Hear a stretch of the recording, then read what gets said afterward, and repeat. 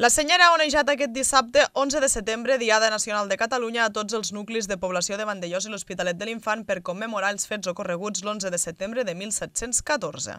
Així, sobre les 10 del matí, alcalde i regidors i regidores de l'Ajuntament, acompanyats per diversos veïns i veïnes del poble, van pujar al castell de Vandellós. Una tradició que feia dos anys que no es podia dur a terme per qüestions climatològiques i per la pandèmia del coronavirus. En aquest punt es va hissar la bandera i l'alcalde Alfons Garcia va fer el tradicional discurs institucional. Una diada en què el poble català reivindiquem el nostre orgull nacional, el nostre sentiment de pertinença i les nostres arrels com a nació. Enguany, una diada marcada per una crisi pandèmica que també ha esdevingut, com sabeu, una crisi sanitària, econòmica, social i emocional.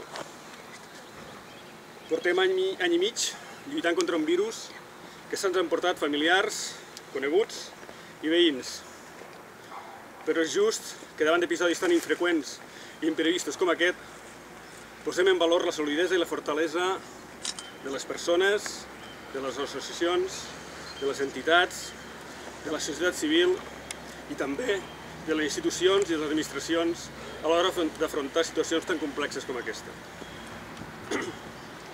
Durant aquests llargs mesos ha calgut donar resposta els nous desafiaments que ens ha plantejat la pandèmia amb grans esforços i sobretot amb nous plantejaments més originals i més creatius que ens permetessin estar sempre al costat de les persones i de les empreses, en especial de les persones més vulnerables i d'aquells que han patit la crisi amb major contundència.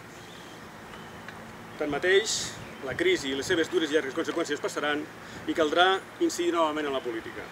I política vol dir, entre altres coses, gestió. Gestió d'acord a un programa i a uns recursos.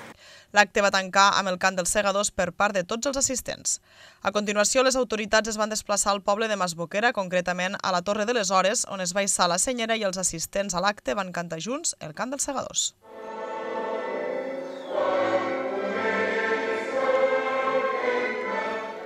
Tot seguit va ser el torn de Marriudoms i en aquest cas regidors i regidores de l'Ajuntament i veïns i veïnes del poble van isar la bandera a la torre del campanar de l'església. La celebració va seguir amb la cantada dels segadors.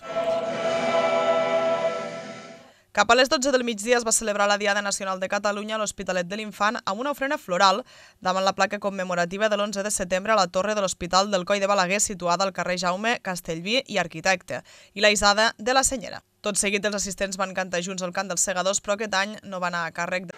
Una acció de govern que plantejar els principals objectius, on tan important com dotar convenientment els serveis públics bàsics i essencials com la salut, com l'ensenyament i com els serveis socials que combaten la desigualtat, no hem d'oblidar la transició ecològica i el problema de l'envelliment i el despoblament de les àrees rurals, entre altres reptes fonamentals a més d'incidir en la reactivació econòmica i l'economia productiva.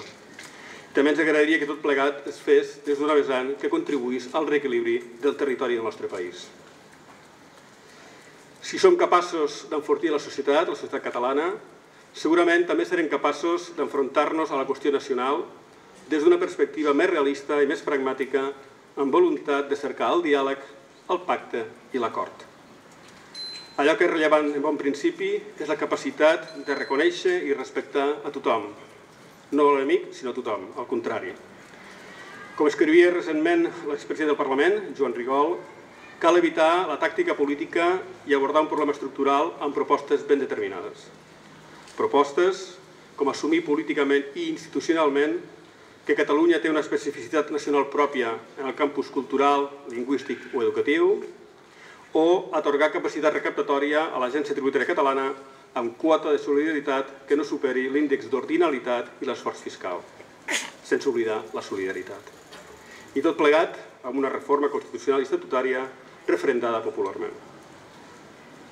El que és rellevant, i ho hem llegit i escoltat en boca diferents articulistes i opinadors, és entendre que encara que tot està supeditat als calendaris i tempos electorals de les formacions polítiques, de la mateixa manera, hem d'entendre que el diàleg no suposa ni una rendició ni una traïció.